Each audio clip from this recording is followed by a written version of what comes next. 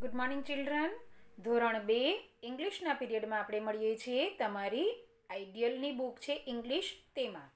તો ચાલો, આગળના સમયમાં આપણે પેજ નંબર ચોવીસ સુધી શીખી ગયા છીએ. તમને સ્વરવાળા શબ્દો શીખવ્યા હતા. આજે આપણે પેજ નંબર પચીસ ઉપર નવો પાઠ મિશ્ર શબ્દો શીખીશું. તો ચાલો, તમે પણ તમારી ચોપડીમાં પેજ નંબર પચીસ મિશ્ર શબ્દો કાઢો. મિશ્ર શબ્દો એટલે કે આખા અક્ષર, અડધા અક્ષરોથી બનતા શબ્દો હોય તેને મિશ્ર શબ્દો કહેવાય. આપેલા ચિત્ર જુઓ. દરેકમાં ઇંગ્લિશ વર્ડ આપેલો છે. તેનો ઉચ્ચાર ઉકેલીશું. વર્ડ જાતે વાંચીશું, જેથી આપેલા ચિત્રને અંગ્રેજીમાં શું કહેવાય, શું વંચાય કે શું લખાય તે ખબર પડે. ચાલો, સૌથી પહેલાં તો જુઓ. કે આ માણસનું ચિત્ર છે, બરાબર છે? તો માણસને ઇંગ્લિશમાં મેન કહેવાય. જો અહીંયા આપેલું છે એમ એ એન મેન હવે એને ગુજરાતીમાં આપણે છૂટું પાડીને લખવું હોય તો એમ એટલે અડધો મ એ એટલે એ એન એટલે ન.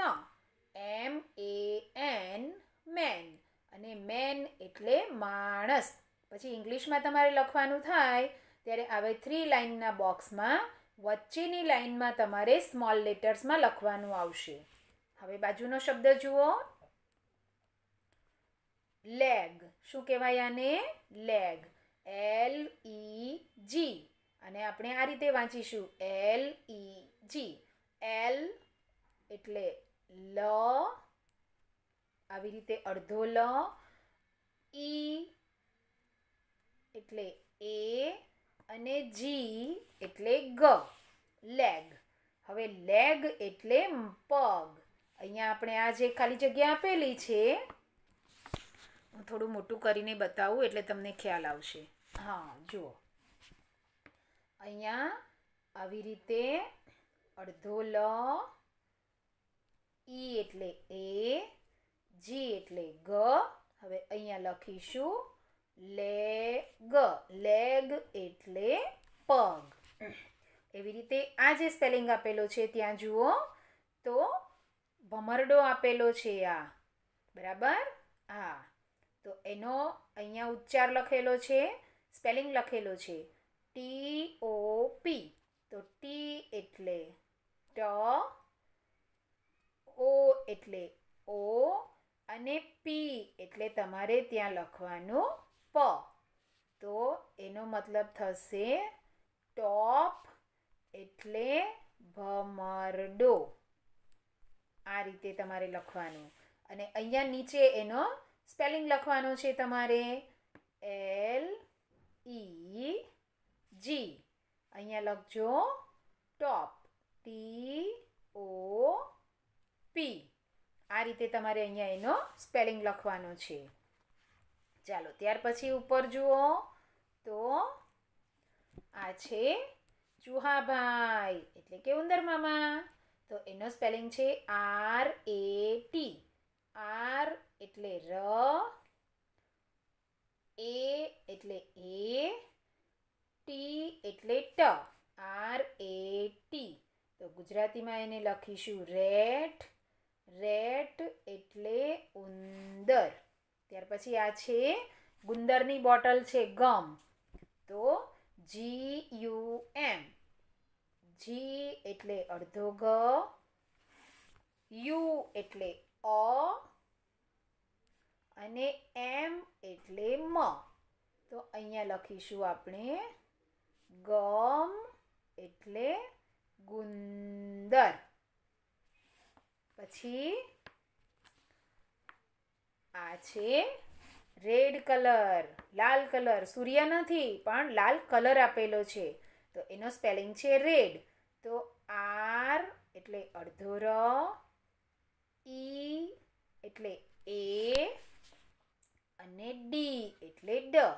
તો અહીંયા આપણે લખીશું રેડ એટલે લા લ અને અહીંયા તમારે નીચે જે ખાના આપેલા છે, તેમાં તમારે એનો સ્પેલિંગ લખવાનું છે. બરાબર? ચાલો. તો એના પછી પેજ નંબર છવ્વીસ. પેજ નંબર છવ્વીસ એટલે ટ્વેન્ટી સિક્સ. ચાલો, આની અંદર પણ આપણે મિશ્ર શબ્દો લખવાના છે.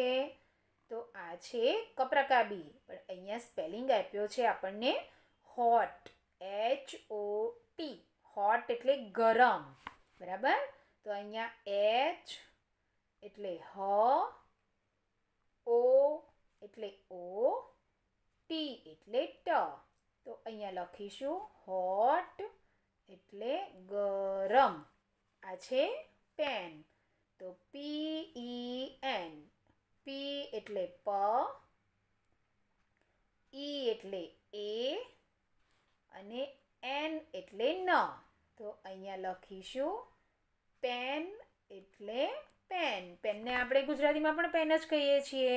અથવા એને કલમ કહી શકો છો તમે. ત્યાર પછી આ છે પેન. પી એ એન તો પી એટલે અડધો પ એ એટલે એ અને એન એટલે ન.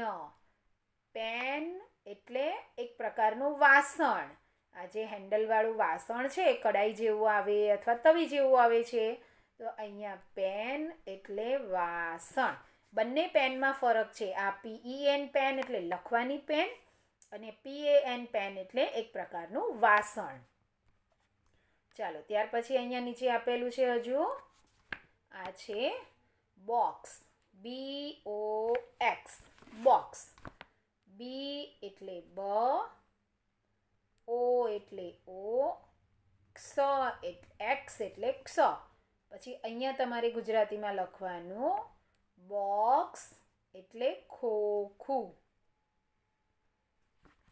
પછી આ છે mat. M A T, mat. M એટલે મ, એ એટલે એ, ટી એટલે ટ. તો મેટ એટલે સાદડી અથવા શેતરંજી. જેના પર આપણે બેસી શકીએ, યોગા કરી શકીએ, એને મેટ કહેવાય. ત્યાર પછી આ lid, L I D. L એટલે લ, આઈ એટલે ઈ અને ડ એટલે, અરે સોરી ડી એટલે ડ. લીડ લીડ એટલે ઢાંકણ. પછી એ કુકરનું ઢાંકણ હોય, તપેલીનું ઢાંકણ હોય કોઈ પણ ઢાંકણ હોય એને લીડ કહેવાય. લીડ એટલે ઢાંકણ. તો તમને સમજ પડી બાળકો? તમારે આજે આપણે પેજ નંબર પચીસ અને છવ્વીસ ઉપર મિશ્ર શબ્દો શીખી ગયા છીએ.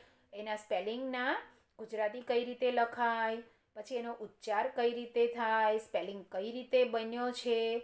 હવે તમને ખ્યાલ આવી ગયો. તો તમારે અહીંયા મેં તમને જે પ્રમાણે શીખવાડ્યું તે રીતે તમારે સારા અક્ષરે લખવાનું છે. અને બોલવાનું પણ છે.